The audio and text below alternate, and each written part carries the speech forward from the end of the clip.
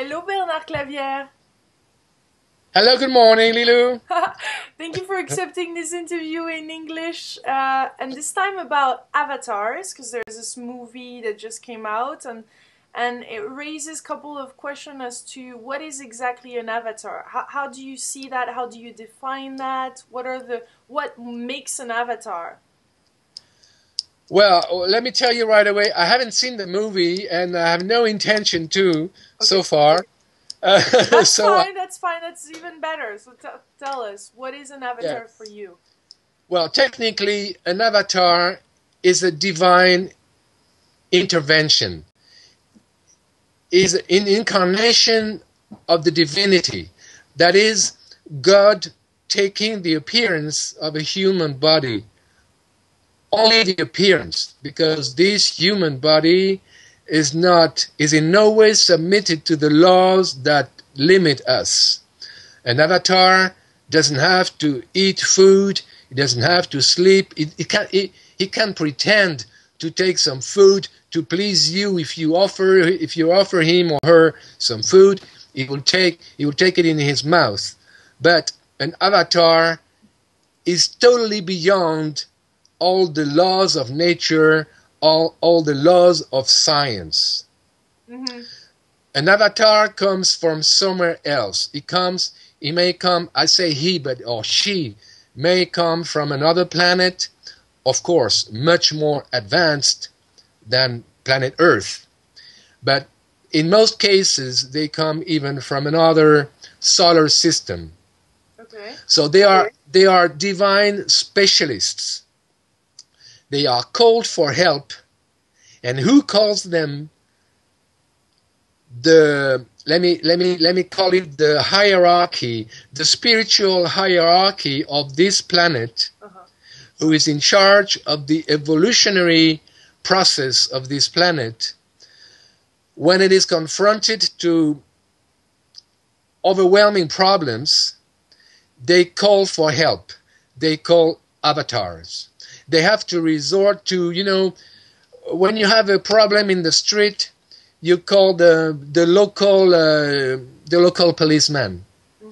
When you have a big problem, you call the the ministry, or you call the, the you know, or even the president. So in that case, humanity is is now faced with enormous problems. I, I won't I won't I won't make the list because you know the list we we we are facing we we we are we are on the verge of destruction. We could destroy humanity and all the planet in in in minutes you so, see? so these Just avatars like, are physical people helping right now the evolution of consciousness. Exactly. They are they are spiritual specialists and they work they have their their way of working. Some of them are anonymous. We've never heard of them we don't even know their name. Some others are well known, are even very, very famous. Like we, we've all we've all heard about uh, Yogananda, the the famous um, yogi uh, who who wrote the the autobiography of a yogi, the, the, this famous book. We've all heard of uh, Sai Baba, who is still alive. We've all heard of uh, Ramana Maharshi, etc., etc. Buddha, Buddha, Jesus, Buddha. Jesus Christ.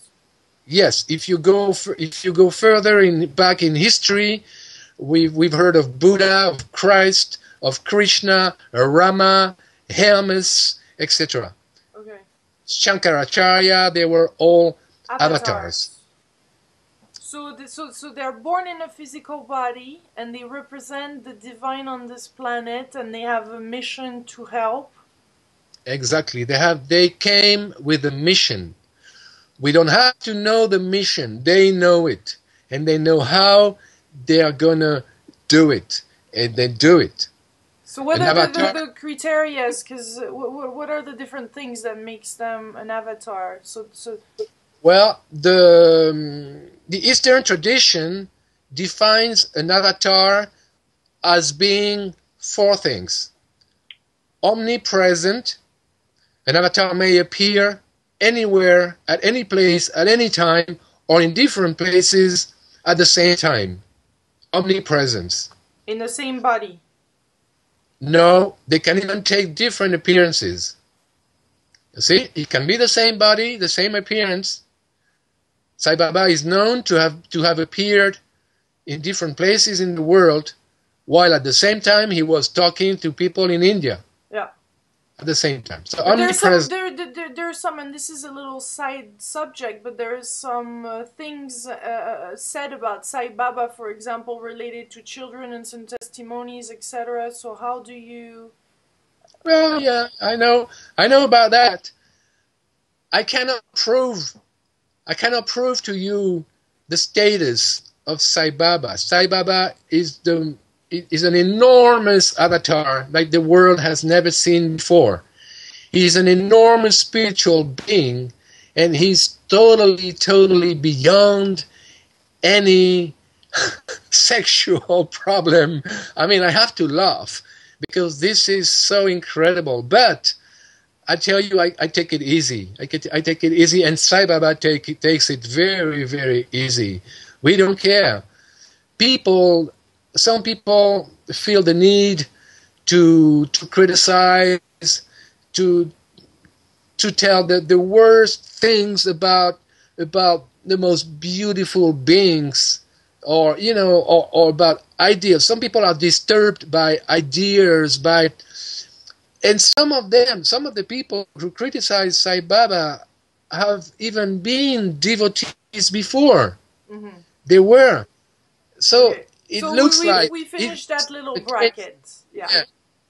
Okay. but the history history will tell you very soon the truth Okay. the truth will be known about Sai. Baba, and I, I'm very confident about that. So the second criteria Yeah. to define an avatar after omnipresence is omniscience. An avatar has absolute knowledge. He knows every single thought of yours. He knows he knows everything you've done in your life. He can tell you right away, "Oh, Lilou, I remember when you were in America on that day you were with your friend John and uh, when you when you said that on that day and uh, I know you I know on that day you you f- you felt pain and you suffered or I I was with you."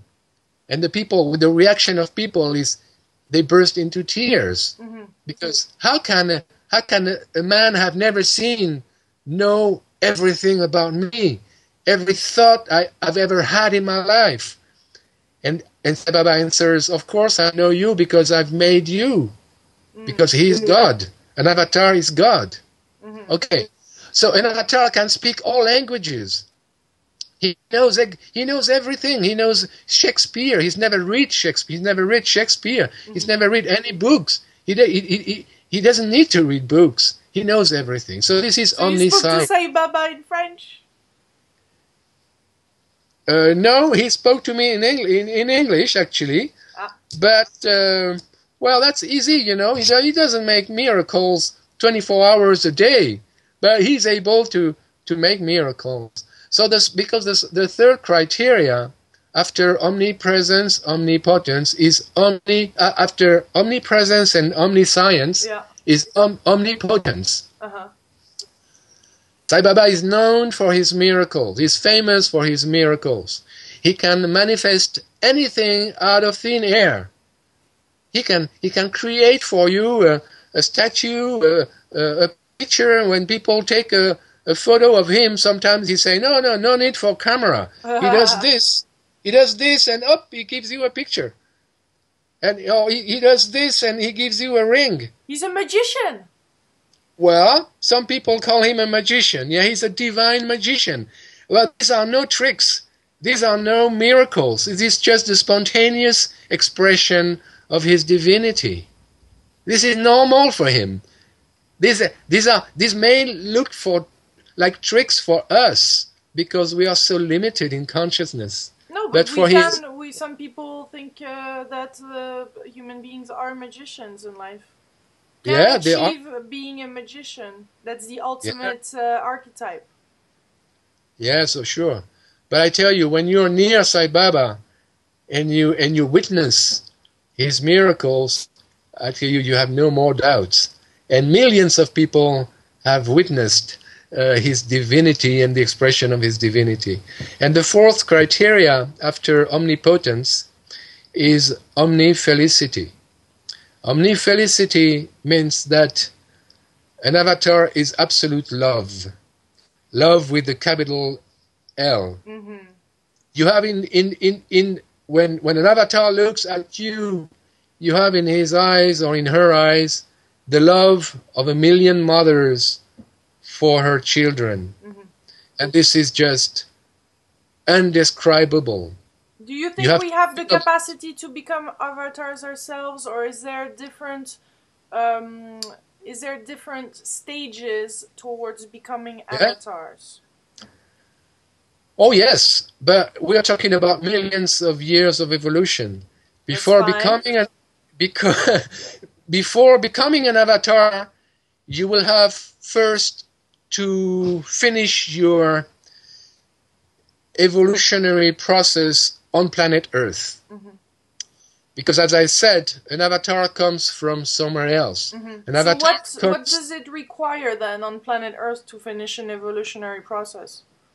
Well, technically, it takes you to go through five main steps called initiations. Uh huh. Initiations. There are five initiations, main initiations on Earth, and when you've when you've passed the fifth initiation, you've become what people call an enlightened master. Okay. Without is- going into too much details, what are those five steps, or what are the last ones?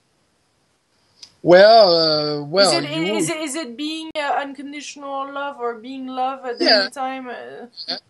Letting go of the ego, of uh, awakening, of going to fifth dimension. I mean, is all that that? Yeah, you're right. This is this is it. Uh, this process involves the development of and the expression of total unconditional love and the and the loss of the ego. Okay, this is this is something. Uh, um, how could I define the the, the initiations? Uh, uh, well, we would have to to to, yeah, we to could go in another to- time. So once, Yeah. so once those are done, then then what? then you are not lim. Well, when you know when you when you're finished with school, Yeah. you don't have to go back to school. No more school. No more planet Earth. No more. So that is that is you are freed from the incarnational uh, uh, will. You don't have you don't have to to be born again and again and again anymore. You are free from the incarnate the incarnational will, and so you go to another school, and another school can be and is another planet, more advanced than planet Earth because they are planets less advanced than planet Earth. so are you Earth. saying that there is lives on different planets other than planet Earth? There is life on each and every single planet in the universe. That is, that is the answer. Okay. So how does- everything, yeah. Yeah, everything is either human or has been human or will be human. So we have Martians. On Mars, for example? What's happening there? There are, there are many more inhabitants on Mars than there are on planet Earth. But we can't see although them. Mars we don't see them because we are so ignorant that that we think reality is limited to what our eyes can see. Uh-huh. We think there is all there is is what we can feel or experience through our senses. For us, matter can be touched, felt, seen. But esotericists know that there are levels of reality which cannot be seen but by human eyes, unless you're gifted with um, clairvoyance or astral astral uh, sight. You see, um, there are seven levels of matter of um, material reality. I don't know. My English is not very good no, no, here. No, no, you're very. Uh, we can understand. I understand you. I we only know will. we only know three three levels of matter. Yeah. We know water, gas, and uh, dense physical matter. You see my desk. If I knock on my desk, it looks like dense physical matter. It sounds like it so too. Got, yes, but there are four more levels of material reality. They are called uh, etheric matter. Uh-huh. And Martians are in physical, etheric physical matter. Uh-huh. That is, we cannot see them, but they are there. Uh-huh. You see? So and uh, yeah. UFOs, UFOs Yeah. are Yeah. visitors from mainly from Mars, also from Venus, who can densify their etheric matter to become visible to human eyes. yeah, hence, hence those crop fields, Hence the crop the crop circles crop circles. who are created, which are created by, again, mostly uh, space brothers from Mars and uh, from Venus and a few other planets as well. So based on what you said, so once we're completed with this uh, the school uh, on planet, then we go to other planets. So these guys, uh, these guys have the same. Um, we're one with them, and they're trying to communicate something to us. Yes, yes, they are here to help. They are, again, I like to call them our brothers, our space brothers. Of light. brothers from other planets. Yeah.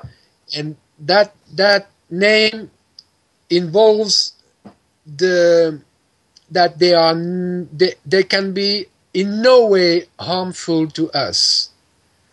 There are no dangerous visitors from other planets because there is such a, an enormous thought form at, at, at the moment people talk about uh, rap, physical rapture you see or physic uh, experiences uh, uh, don't i mean Can, this is- this is all bullshit can avatars actually uh, be in contact directly with other uh, beings in other planets? Of course, avatars have, have such an uh, indescribable level of consciousness. They they are in touch with beings from many many other planets. While they are here, they are at the same time in touch with realities of the place where they come from, and with the visitors from many, many more planets. Okay, so in the process of becoming avatars, then there's the school of uh, another planet, and then after that, is there another step before becoming an avatar? Well, very few people. I mean, if you go to Sirius, which is another solar system, for instance, Sirius is a is a place where many people go after planet Earth. For instance, after planet Earth, you don't go to Mars because many Martians are less advanced than us Ah, spirit, spiritually. ah, I mean, they are technically they are very advanced. They can visit us physically. yeah, It doesn't necessarily mean that they are all more advanced than us. Anyway, the, these are all details. The Venus, Ven- Venusians, the people from Venus, are extremely, extremely advanced. But after planet Earth, many people go to Sirius. And what I wanted to tell you is that the people on Sirius Yeah. Are not all bound to become avatars. I mean, uh, No. avatars are, are exceptions. Yeah. The goal of life is not to become an avatar. You see? Yeah, but why isn't there more avatars right now? I mean, so people say there's more angels on this planet, for example, at the moment because we need help. So aren't we at a time of crisis where there should be more of avatars, or are we supposed to ourselves open ourselves up and become in our life? I mean, what is the consequence of all this in our own lives, and how how can we help consciousness to evolve and to open up here on the planet, or do or, or is it only for higher dimensional beings? Oh, no, no, no, no. We are all responsible for the evolution of this planet. And this starts this starts with our own evolution. And this is all there is. That we are not born to raise children or to plant a tree or to build a house. These are just tools, evolutionary tools. The goal of life is to grow in consciousness and to to rediscover the purpose of life. You see, this this is this, this is all there is to become God again.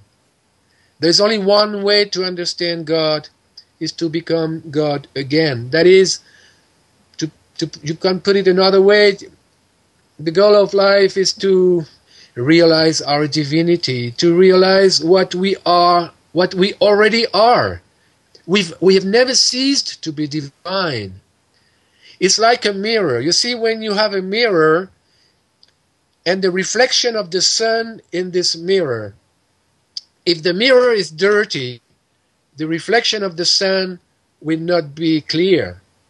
So we are the mirrors of divinity. But because we are so imperfect, we are so limited in consciousness, we reflect divinity poorly. So our duty is to clean the mirror.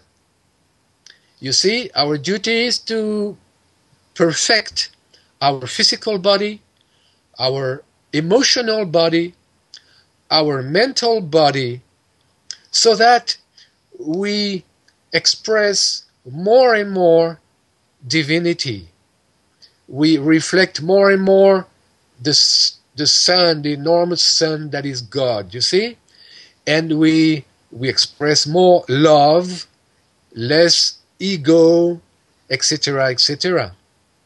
Until the time when our physical vehicle is so refined, so pure, so clean, that we don't need it anymore. At this time, we we shed our physical body for the last time, and we don't need we don't even need to be reborn through a woman.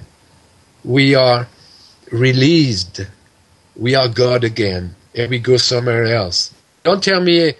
Uh, don't ask me too much details because I don't know them. I am so limited myself. So you see, I give you a few informations I've received myself, but I don't know anything about life on Sirius or on Mars or, or on Venus. You see, I just know that the goal of my life here and now is to express more and more of my divinity, intrinsic divinity. Thank you, Bernard Clavière. Thank you, Lilou.